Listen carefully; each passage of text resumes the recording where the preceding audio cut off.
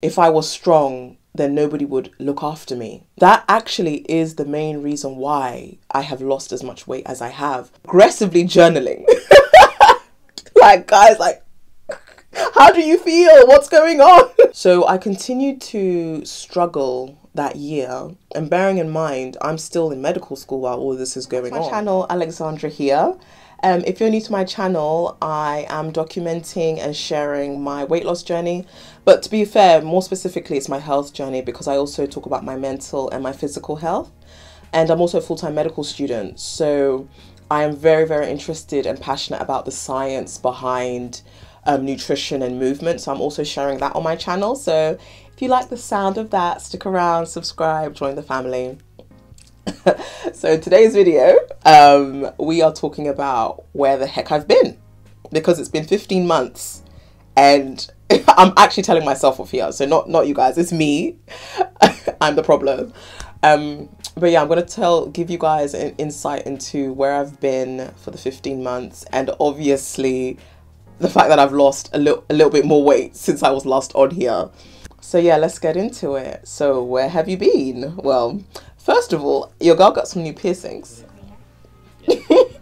I got two new piercings, so there are now 10 on one ear and 11 on another. And before you say anything, I, I do want some more. And then I also got two new tattoos when I was in Asia with my best friend and my sister and one of them is for myself and my dad. It's, it's, it's two giraffes, which the symbol is that um, he's kind of always looking ahead and looking after me, which he always did. So I really love that. He hated tattoos, by the way. So I, I know he wouldn't agree, but it's for me. It's not about you, dad. it's about me. But yeah, but yeah, I got those. I love them. Um, but yeah, let's talk about why I had to ghost for 15 months. Um, so guys, before we get into this video, I am going to discuss weight loss, I'm going to discuss grief, and I'm going to discuss depression. So if any of those things are a trigger, um, please take that with caution. So if you can't watch this video, um, then please take care of yourself first. So let's get into it. The 15 months that I took off was definitely unintentional, but I realized that juggling all these different things in my life was becoming very, very difficult for me. But I couldn't, I kind of couldn't understand why because I've got the kind of personality where when I put my mind onto something, I can just get it done. Like the struggle isn't the consistency or the drive or the discipline. So when I started to struggle with those things, I was kind of perplexed. I was just like, why am I struggling to do things? And you know, I'm the kind of person that I started to like just berate myself, like, why can't you get this done? What's wrong with you? And I didn't really understand what was going on. And it wasn't until I went to my my favorite cousin in the world. I love all my other cousins, but she's basically my sister, my twin, my everything. So I went to her wedding um, last year. Yes, I went to her wedding last year, and um, I'm the kind of person like around family or like you know around family that you enjoy the company of on occasions, weddings, everything like that. I am basically like peak level happiness. And I'm going to the wedding of one of my favorite human beings on earth. And I could tell whilst I was there, like, I'm not happy. I really don't know what's going on, but there is every kind of stimulus right now to be making me extremely happy but I am still very, very down. And there are times where I'm just happy, I'm smiling, I'm enjoying the moment. And then sometimes within the moment, or when I'm alone in the hotel room or something, I'd get really down. And my kind of down manifests as either my mood is very, very low, or I'm not motivated to do anything. Like, I, I just can't physically make myself do anything. So I was kind of perplexed as to what was going on. Obviously, the first thing I did was I spoke to my family, I spoke to my friends, and I started to reflect. I'm, I'm quite a reflective person, especially post losing my dad. I've become much, much more reflective because it helps me kind of sort through my emotions. And to be honest, the wedding was what made me realize that I was probably depressed. But it was the year leading up to that well, I was already very low, but I just didn't understand why. And then I then realized that, oh, you're still very much grieving your dad. And I think the reason why that was a bit was it was a realization I didn't have for a while is because I thought because he'd already passed and it'd been at, at that point it was now three years it's four now I thought oh it's been so long this is my new normal anyway. My new normal is I'll kind of be a little bit sad for the rest of my life. So things won't make me as happy anymore. So you know I don't love it but my dad's gone so it is what it is isn't it? This is life now. I basically didn't think it was possible to get even sadder after it had been a long time since losing my dad. I just thought that the level of sadness I was in would sort of basically stay at that level and there was no more like depth that it could drop to. But that was what was newly manifesting in me that, oh, I can get even more sad. I can lose even more motivation or love for my life and just kind of carry on existing. So, although I'd done the counseling sessions near the time when my dad had passed, and about six months again after that, I think I thought that was enough and that, oh, because this is my new normal, I'll be okay. I didn't realize that actually, if you don't keep looking after yourself or checking in on yourself, things can get worse. And that is what I was experiencing. So I continued to struggle that year. And bearing in mind, I'm still in medical school while all this is going on. And medical school definitely requires you to be dedicated consistently all the time. What I should have done was go to my medical school and probably ask for a year off or more. But I'm I'm not that personality type at all. I am definitely a keep going, you can do this, you've got this.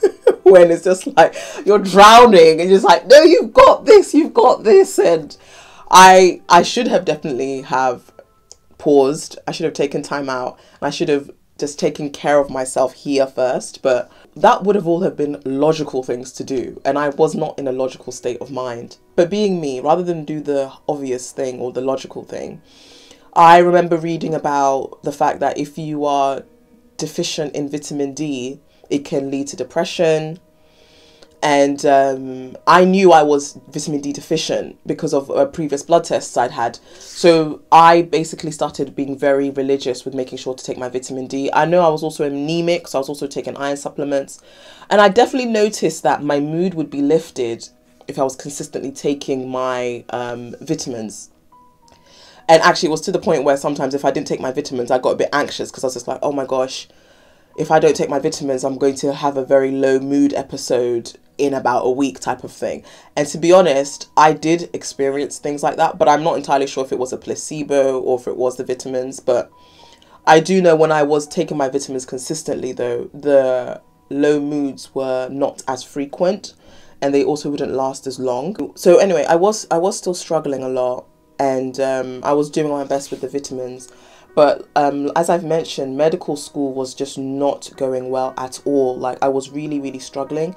And it was very difficult for me to struggle with something academically because I was very much the kind of student, especially when I did my GCSEs and my A levels and that sort of thing, where I knew if you work very, very hard, you just you just do well, and it's that simple. And working very hard and doing very well aren't necessarily tied to your emotions when you're doing well, you just need to put your emotions aside and just get the work done. So, because that was kind of my personality, when I was then struggling in med school, I wasn't necessarily thinking that, well, it's because you're depressed. because you're grieving your dad and you're not doing well, you're not able to commit to anything you're doing. But I wasn't thinking that way. I was thinking that, no, no, no, just put the emotions aside and, and get the work done. So then I kept, I was kind of like chasing my tail because I would go through like a few weeks where I was very motivated, I could get all my work done, and then three weeks of nothing. Like, I could not do anything. I could not pick up a single lecture, I couldn't go through my notes, I couldn't study. It, I was literally like almost like an absence of anything. So I, I would just be walking around my house. I wasn't doing anything. I, and I knew all these things had to be done, but absolutely nothing in me was motivating me to do it. So I didn't know how to help myself almost. So anyway, that led to me not passing. So I have to, I mean, I'm, I'm having to repeat the year. But, and, and initially, when I was faced with that reality, it was, I, don't, I think it was also kind of the shock I needed to my system because I, for a long time, I kept thinking that I can always just carry on that was my mindset. I can always just carry on. I can always just carry on. I can always just carry on. At the end of the day, I did the counseling when my dad passed, so I'm okay now. The new normal isn't great, but it's okay. You can just carry on. You can just carry on. But I really feel like God shook me almost with that. Like, you cannot go through medical school just scraping through because number one, what kind of doctor are you going to be if you kind of know and an, a decent amount of the knowledge. Like you'll definitely know enough because obviously it they're not going to graduate dodgy doctors. dodgy doctors. They're not going to graduate. You can't graduate to become a doctor if you're incompetent basically. Me personally, I want to be excellent, you know. I want I want to be the kind of doctor that my patients can fully trust in my clinical judgment. I can give them the best kind of care. I also want to have pride in the kind of care I can deliver. And for me, that takes someone who is very committed to what they are studying. So, as scary as the situation was, it was exactly what needed to happen for me. It was exactly what needed to happen for me because in the last year, guys, the amount of work I have put into my mental health, the amount of support I've had from my family and friends, no word of a lie, guys, this has probably been the one of the happiest years I've ever had. Like bar none. Like even before my dad passed, I I haven't and I think it's not because I wasn't happy before my dad passed, but it was because I didn't value happiness the way I do now. And that is because I and, and also I didn't think it was possible to be this happy again anyway. But actually and it's not because you know I don't miss my dad every single day and I don't the depth of the love I have for my dad has changed or anything. But it was very much rationalizing to myself and understanding that nothing actually would make my dad happier than me being healthy again and me pursuing things I love. And that's something that made me happy and there's also an extra happiness with it that I, I know would make him happy. So I basically employed all the tools that I have been employing. I I became much more prayerful. I was I leaned into the support from my family. I leaned into the support from my friends. I was aggressively journaling. like guys like how do you feel? What's going on?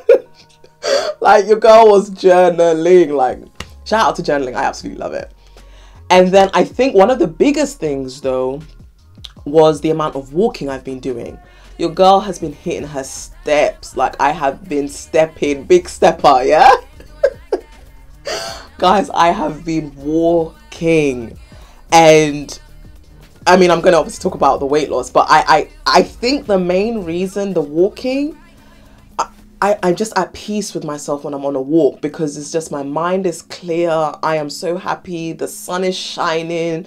Like, even the sunsets are beautiful. Like, I'm taking so much joy from walking that it, it gives me this mental peace and clarity that I'm, I'm more than sure it's my endorphins are probably through the roof from all the walking I'm doing. I have never ever walked this much in my life. So, the benefits that I'm getting to my mental health is like nothing I've ever experienced before. So I was just like, I I cannot believe what they say is true. I can't believe you can get all of this from walking. I mean, I, that that has really like given me a lot of peace. I'm not gonna lie, and I think that has been another main reason why my mood has been so lifted and it's just made me have an outlook that I'm kind of capable of so much now because to do something with that consistency again, which I haven't been able to do for so long, and to be so committed to something that I haven't been able to do for so long, it just made me feel really, really good about myself and it made it revitalized my passion for med school too because now like I can study for days and days and days. I can really be committed when I'm studying and I love science anyway. Like I love the human body. I, I love physiology in particular in terms of how the body works. And so the interest of my medical school degree, that was never the issue. It was just being motivated to even look at my lectures and learn because of how I was feeling. But I feel like because I've kind of restored those things, studying has just become something I enjoy again, you know? So that actually is the main reason why I have lost as much weight as I have. There was two main reasons why I've lost the weight that I've lost. The first is I fixed my mental health. When I say fix my mental health, I mean I, I manage it and I I manage it well now. I manage it well by making sure I'm walking. I'm managing it well by making sure I'm checking in with family and friends, and I'm managing it well by being prayerful. I'm managing it well by journaling all those different tools that I have at my disposal have have allowed me to get my mental health very healthy, like the healthiest it's been for so long. And because of the health of my mental, I'm the kind of the health of my mental.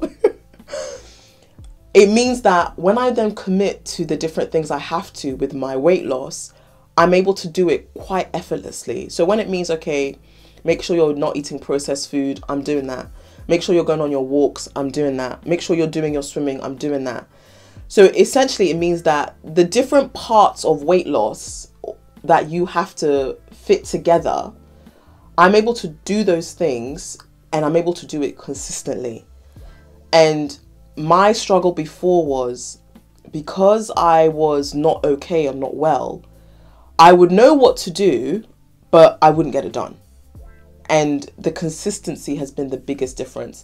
That and um, the science that I learned and I understood about nutrition and and movement, which I'll talk much much more in, a, in its own dedicated video, um, where I actually go into the details of, you know, how I've actually lost this 117 pounds.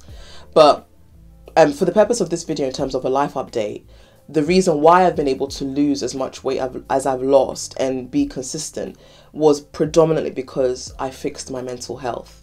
When I fixed my mental health, guys, with me anyway, when I'm healthy in my mind, I, I kind of feel unstoppable. I feel like I can do anything all the time because I, I can stick to it. And and really and truly achieving anything is through consistency. So once you decide, oh, I want to do this thing, well what are the what are the steps you need to be able to achieve these things? And if you can stick to those steps you will achieve that thing. And you know and that's just in its simplest form. You know i mean i know there's barriers to things and uh, all these other things that can get in the way. But um in terms of what you can purely do from your point of view um once you once you have a roadmap and you're healthy in your mind you can follow that roadmap and that's what I've been able to do.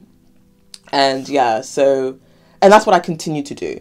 And that's why I'm just like the happiest I've ever been, guys. I, I'm just like I'm so happy, I'm so blessed. Like my family and friends I've got so many incredible people around me and I feel like invigorated and also I feel like I've reclaimed my strength and for a long time I let go of my strength because I felt like without my dad, I felt like I wasn't strong anymore. Or and I also felt like I didn't want to be strong because if I was strong, then nobody would look after me. Nobody would support me. But actually, my strength was probably my favorite thing about myself because when I was strong, I could do things for myself. And giving up my strength because of the pain I was in and because of like, you know, there's this whole trope of, you know, black women must be strong, blah, blah, blah. And I sort of kind of rejected it because I was just like, well, if I'm strong, who's going to help me? Who's going to support me? And as the eldest daughter in an African household, you very much feel the pressure of having to be that third parent. And so when I was at my weakest, I felt like my strength is the reason why I'm not getting any help. So I don't want to be strong anymore. But through this year of healing, I would say, I was just, I realized actually that my strength is my, my superpower almost. And also, I realized that being strong and part of that strength for me was knowing that I literally have an army of people who love me that will support me no matter what. And that is also my strength. My strength is not just within me and what I'm capable of, but it's also the people I have around me and the circle and the community that I have. And when I realized that, I I literally almost grabbed my strength back to me because I was just like, oh, I'm so happy to have you back because you are why I can do things, you know, and just having that support, having that love for my community and for myself just made me feel like, yeah, uh, I can do anything. So, yeah, uh, that's it. That's been the last year and a half, and I am so happy to be back, and I can't wait to share much more about the science of nutrition and movement, my vlogs, the lifestyle, and obviously actually get into specifically how I lost this weight. But yeah, thanks so much, guys, for watching, and see you in my next video.